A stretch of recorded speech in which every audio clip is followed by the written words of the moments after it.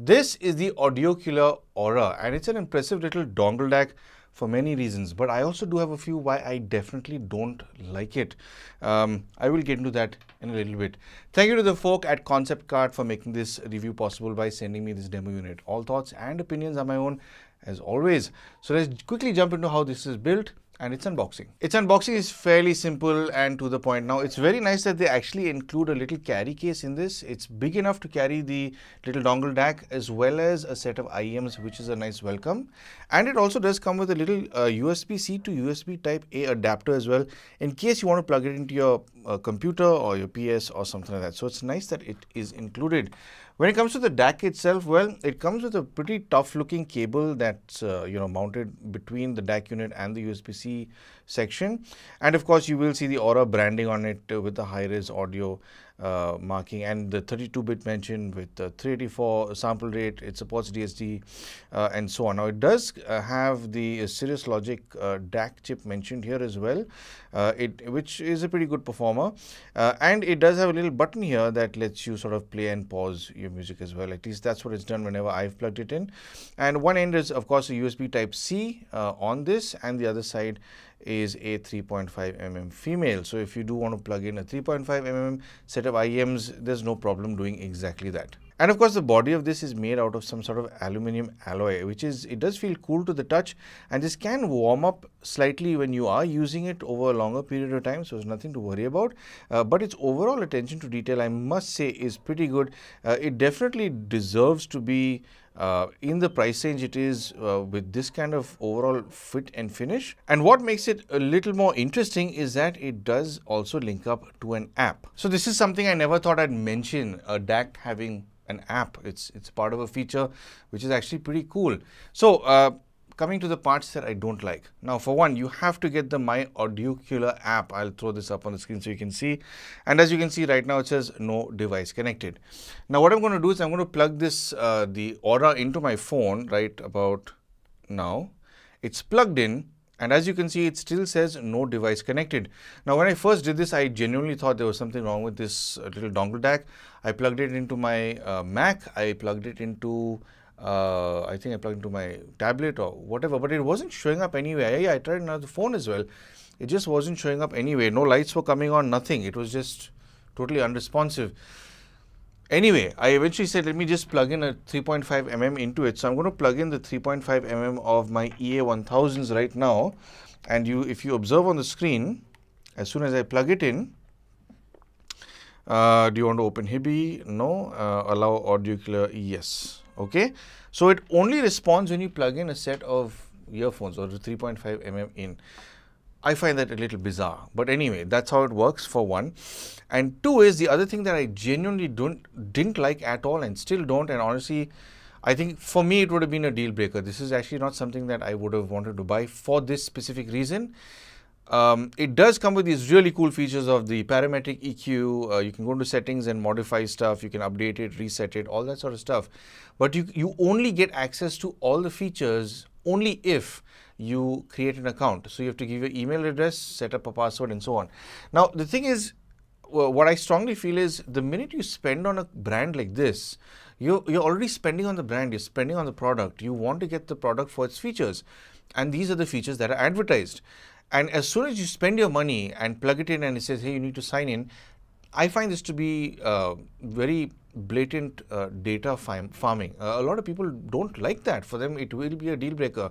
But I haven't seen anywhere where it specifies that these features will only be unlocked if you provide an email address and so on. I think this is something they shouldn't do. Now, they do have a community tab. Now, honestly, if uh, you want to join the community and share, you know, parametric EQ sort of uh, layouts or whatever, uh, or just share EQs in general, just have the login for the community page. That's fine.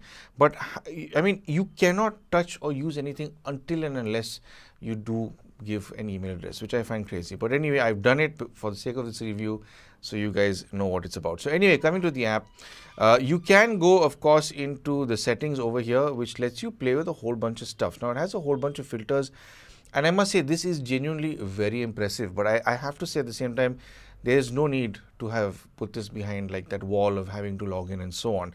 They should have just provided this. Uh, you've already bought the product. So you do get all these different filters. Uh, these are, it's very interesting to see that you're getting access to something like this at this price range. Stuff like this is normally only available in a much higher price segment. So it's pretty cool that they've made this possible. You can of course change uh, a few things. Now you have to sit and listen and figure out how you want things to sound. Uh, gain mode as well, channel balance and so on, which is also cool.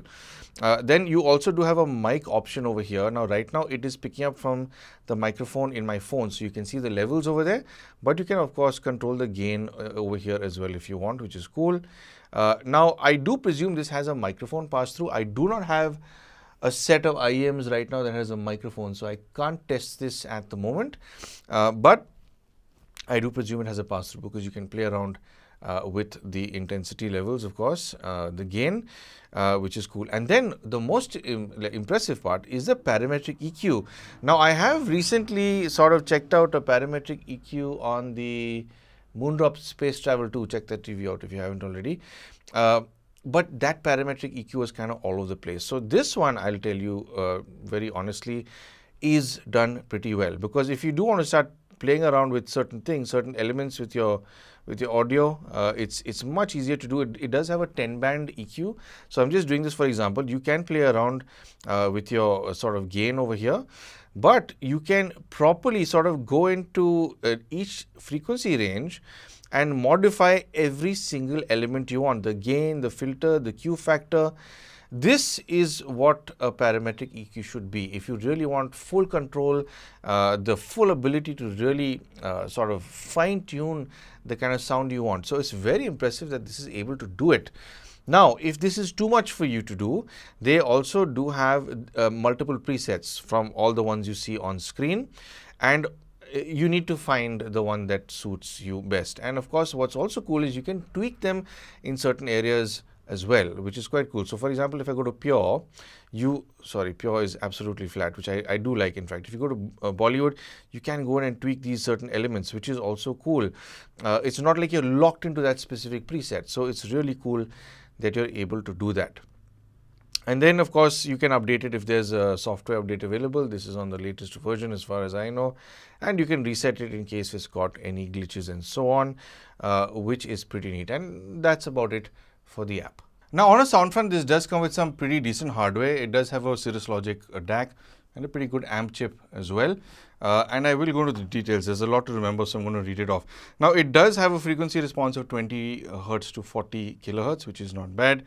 Its impedance range is 16 ohms to 600 ohms and I'll say take that 600 ohms with a pinch of salt because it does have an output power of about 227 milliwatts at 32 ohms. So, I mean if you're plugging in Beyers, uh, Beyerdynamics that are 250 ohms, 600 ohms, it's, it's not going to do what it needs to do. You really do need kind of a desktop setup for that kind of stuff, but this will do very well with uh, IEMs. And then of course its decoding capabilities is it handles PCM 16-bit, it has a 44.1 up to 32 bit, uh, 384 uh, uh, sampling rate as well, DSD 64, 128 and 256. So, it, it does pretty much everything you need it to do. Uh, but when it comes to how it sounded straight out of the box, well, um, if I'm being very honest, it did sound very sort of dead. It sounded very flat. It wasn't too exciting. It, it was kind of almost, um, I wouldn't say muddy, but very veiled with a lot of its detail. Uh, I wouldn't say it needed a burn-in because that usually uh, sort of leans more towards more mechanical audio equipment. Um, but I have found that uh, through the past few days of spending time with it, uh, it shines more when you start playing around with the parametric EQ. And if I'm being very honest, I logged into the app maybe two or three days after I first started listening to it because I figured that you know it must sound much better than it sounds straight out of the box. And very obviously, you really do need to go into the parametric EQ and use uh, the different presets or fiddle around with it yourself. The level of clarity and detail does open up that much more when you switch that or those modes on. Uh, now, that's a big reason why I strongly feel that you shouldn't have to log into this. You shouldn't have to sign in or give your email address and so on because when you buy it, you buy it for the features, which is what you're paying for, including the build quality and so on. But it's kind of this hidden thing that I'm not a fan of. Data farming shouldn't be done in these kind of situations. But anyway, sorry, I'm just veering off. But when it comes to the overall uh, detail, once you've got the uh, present the the um, PEQs working uh, and so on, everything just sharpens up. It suddenly gets more focused like it's on race mode and that's the way it should be used. That's definitely the way you should plan on using this with the different presets. And when you move on to how it amps, well, honestly for IEMs, it does a very good job. I have mainly paired it with my EA1000s. I've been using this off late. I mean, it's an older set of IEMs, but it's terrifically transparent and it's, uh, I mean, of course, a little more expensive than everything in the budget range. But because of its transparency, I really wanted to try it out with this DAC to see the difference between how it sounds out of the box and with the PEQ. And it, it definitely, there is a a, a, dramatic shift. I wouldn't say it's night and day, but it's definitely much better posture once you get the PEQ working. Uh, so yeah, volume wise, I've never really gone past say about 25, 30% uh, through my phone uh, with this specific um, uh, DAC amp. Uh, I have not been able to use it on my Mac because I have not found the app for the Macintosh. Uh, I think that they are planning on launching it for iOS. It is definitely available on Android, uh, but I don't think they're going to do desktop stuff. But I could be wrong about that. Correct me if I'm wrong down in the comments, of course. But yeah, all in all, it's it's it's a pretty decent sounding little DAC amp for the price. I think they've done a pretty good job of including all these features, but it, it is at a certain cost, of course.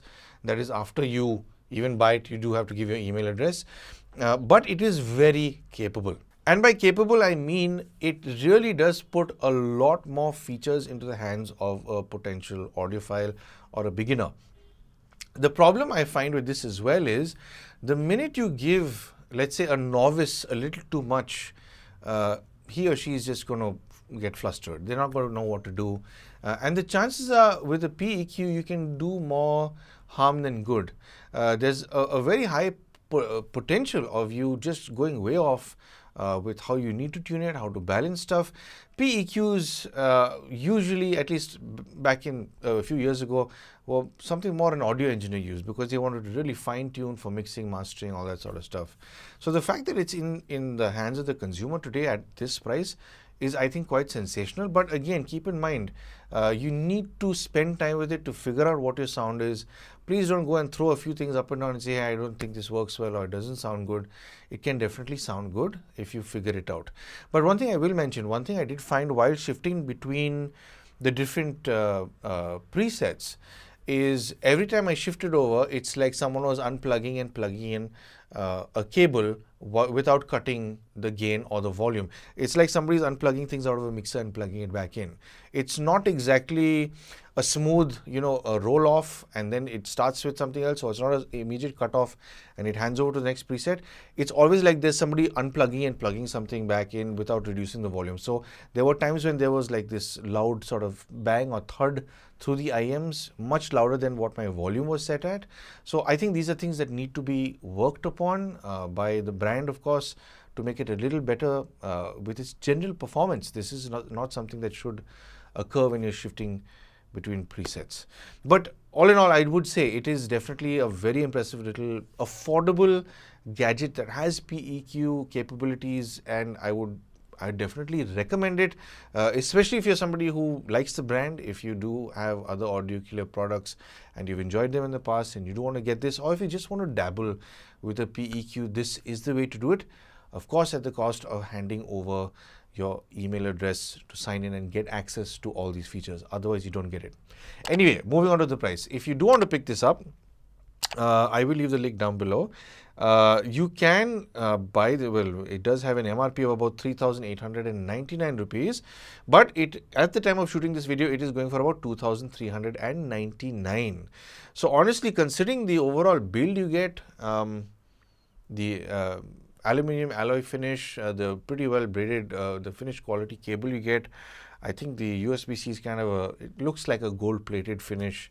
Uh, it's, it's all in all a good, uh, well built little unit.